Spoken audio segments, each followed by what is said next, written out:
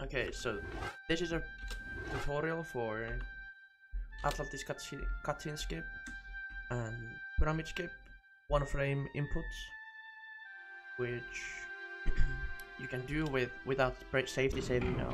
You can use F3 and F3, F4 to reach the game like this. If you hold F3, you can't move. Now when you let go, it lets you move. So when you're against this game, you remember you have to be against it and not moving. You have to be fully stopped. Um, so you go here. Now you hold F3, so game freezes. And you hold F5 and action.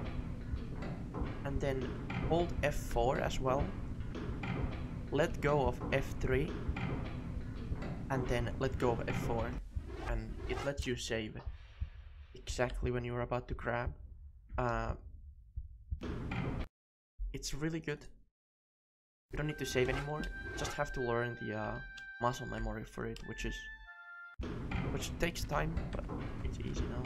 So F3, hold F5 in action, F4, let go of F3, and let go of F4, and you can save.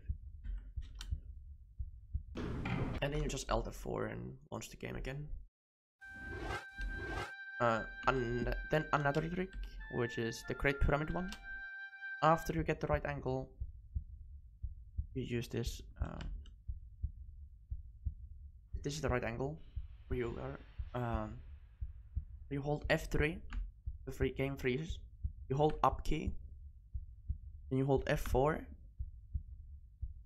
Let go of F3, so, and then you now you're holding F4 and up key.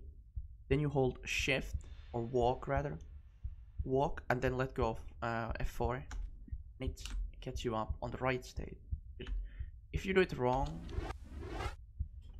um, you go like this, like really high, and the camera is like, yeah. So you hold F3, up key, then you hold F4, let go, let go of F3, and then hold walk, let go of F4 get you. And then you can do the five left upper puffers.